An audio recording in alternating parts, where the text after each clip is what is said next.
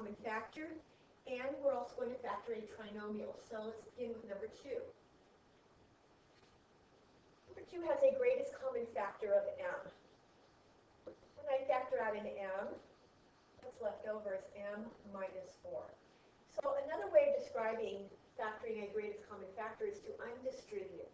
We can check our answer to see if we did well by multiplying or distributing m squared and distributing to get negative 4m. Number, 20, or number 4, uh, these two terms have a common factor of 2, but there's actually a greater common factor.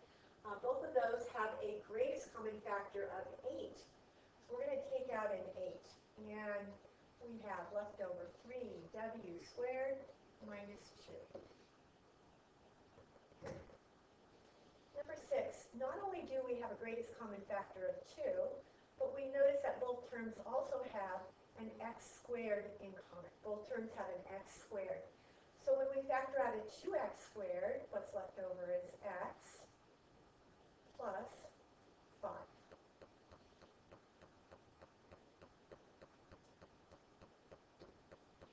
Now we're going to begin by factoring some trinomials. To do that, I'm going to use this multiplication table.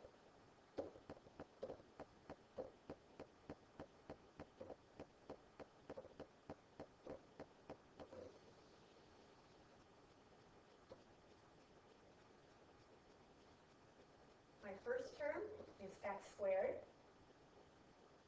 My last term, positive 6. To get x squared, I multiply x by x. To get 6, I can either multiply 2 times 3 or 6 times 1.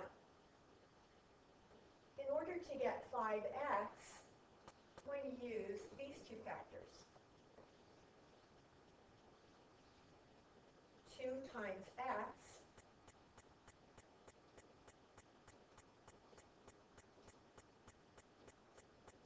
is 2x squared.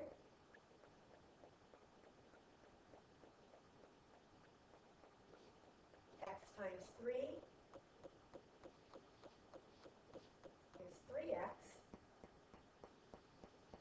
2x plus 3x gives me 5x. So my factors are x plus 2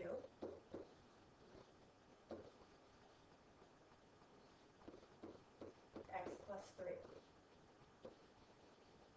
Now we can quickly check to see if the product of x plus 2 and x plus 3 is x squared plus 5x plus 6 by FOILing. x squared 3x plus 2x and positive 2 times positive 3.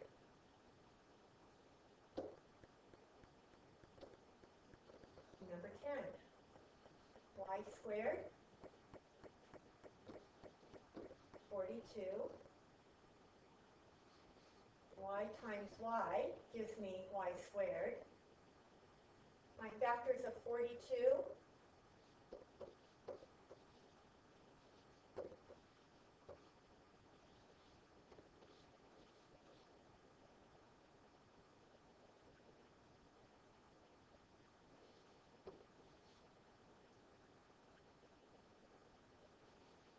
Looking for a sum of 13.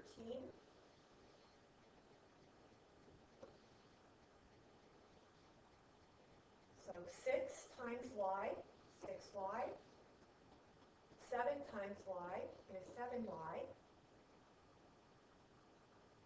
So my factors for number 10 are y plus 6,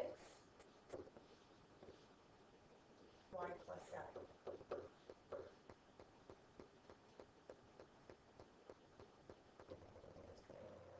Number 12.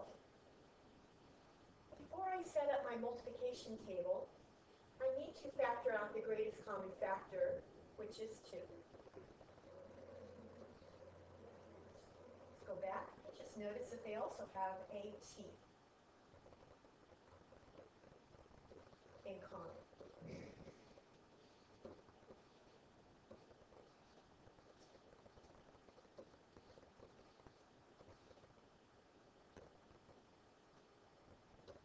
Now in my table, I'm going to use the trinomial t squared minus 7t plus 12, beginning with t squared and positive 12.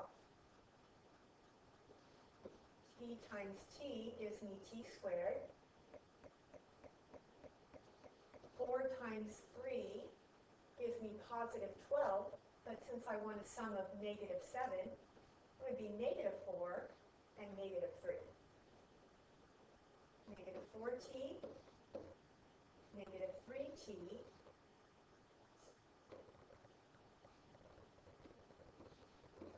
equal negative 7t, and a negative 4 times a negative 3 does equal positive 12. So my factors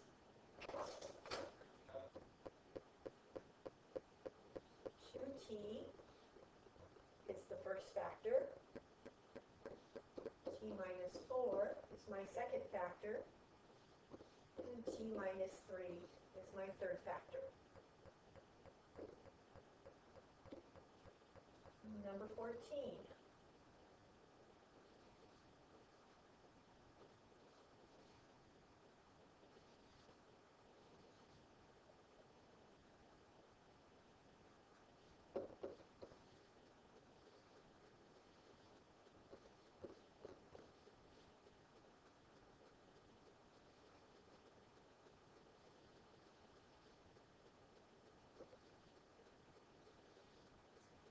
Now, in order for my 6 to be a positive 6, I'm going to need a positive 8 and a negative 2.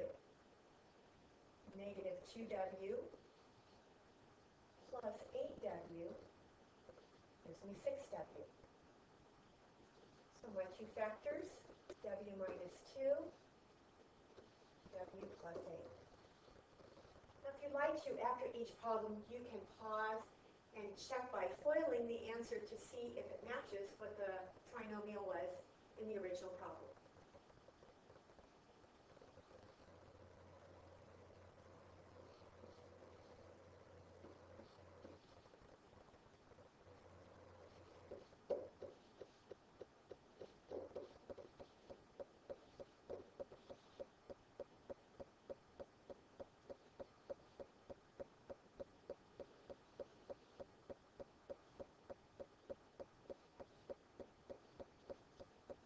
To get a positive 4, I need positive 6 and negative 2. 6x minus 2x is positive 4x, and 6 times negative 2 is negative 12. So my factors, x plus 6, x minus 2.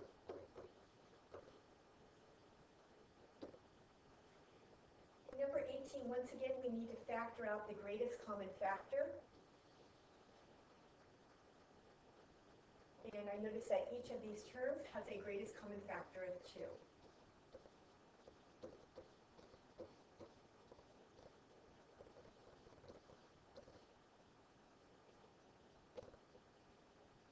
So I'm looking at this trinomial to complete my multiplication table.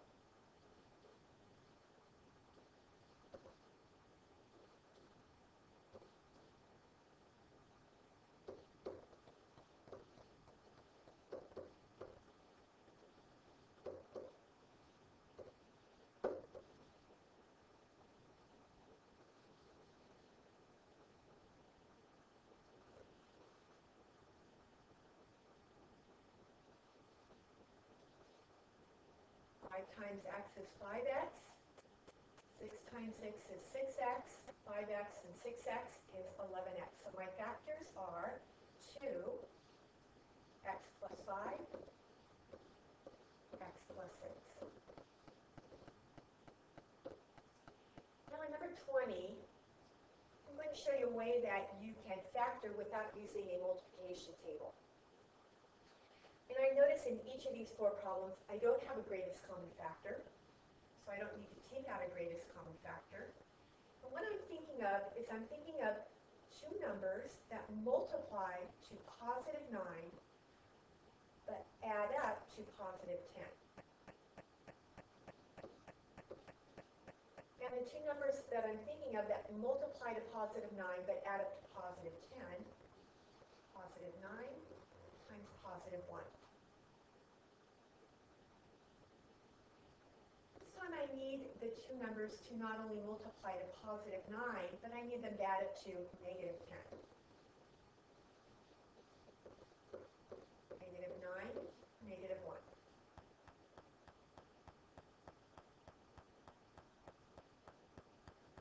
Two numbers that multiply to negative 9, but add up to positive 8. Positive 9, negative 1. Two numbers multiply negative 9 and add it to negative 8. Negative 9, positive 1. Each time I FOIL these four answers,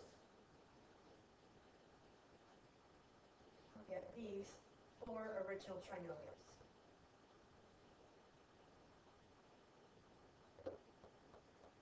You probably noticed when I was doing some of these problems, over on the right or left side of the problem, I would write down all the fact families for the last term, 40. So I would write down 1 times 40, 2 times 20, 4 times 10, 5 times 8. And that helps me in trying to find my middle term. So if I look down here, I notice that the combination for uh, factors of 40 that give me a sum of 13 are 5 and 8.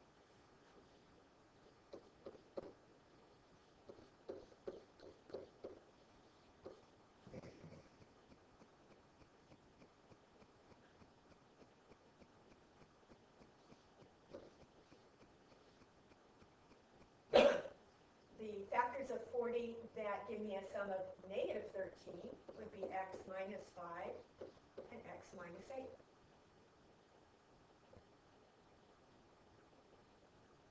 Now I'm looking for factors of negative 40, negative 40 that give me a sum of positive 3. So it would be positive 8, negative 5. And the factors of negative 40 that give me a sum of negative 3 would be negative 8, positive 5.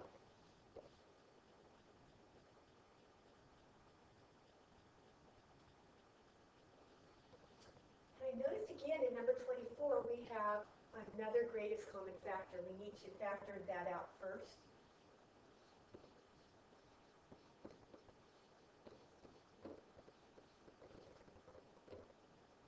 Then we're going to look at factoring this trinomial.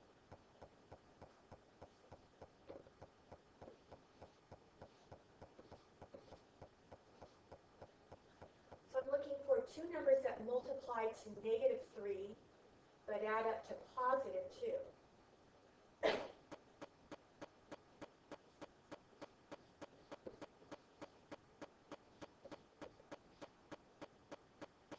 Positive 3 times negative 1 is negative 3, but when I add positive 3x and negative 1x, it gives me positive 2x.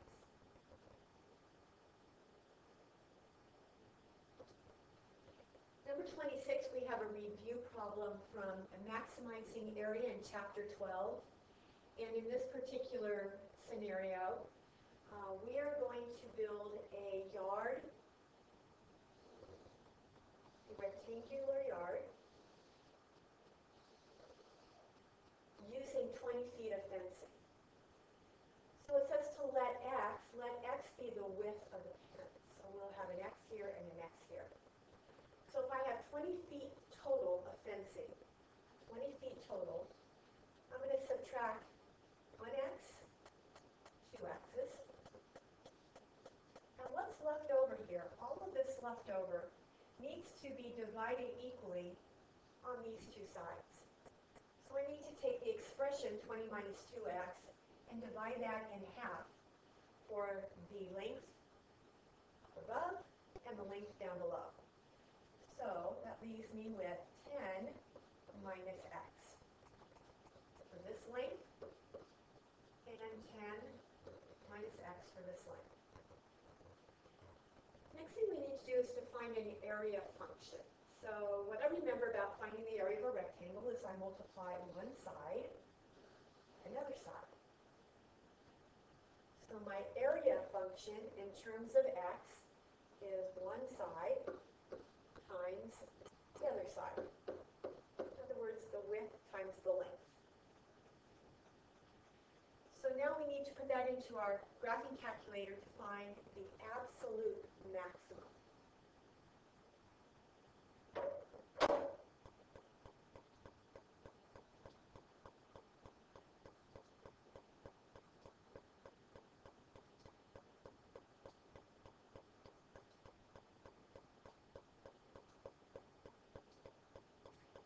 And I'm going let's see what that looks like on my graph. I need to get a good visual here.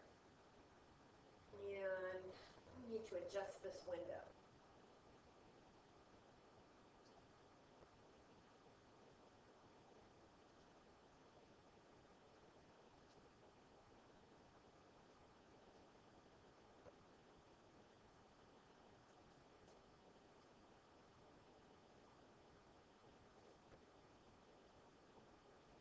So I'm going to go to second to find my maximum.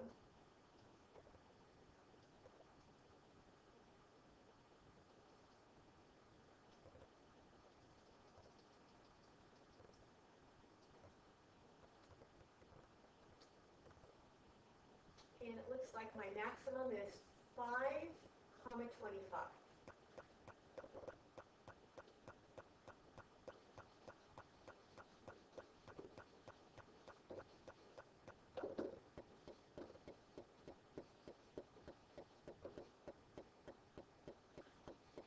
This represents my width. And this represents my maximum area. So it means when I have a width of five feet, my maximum area is five square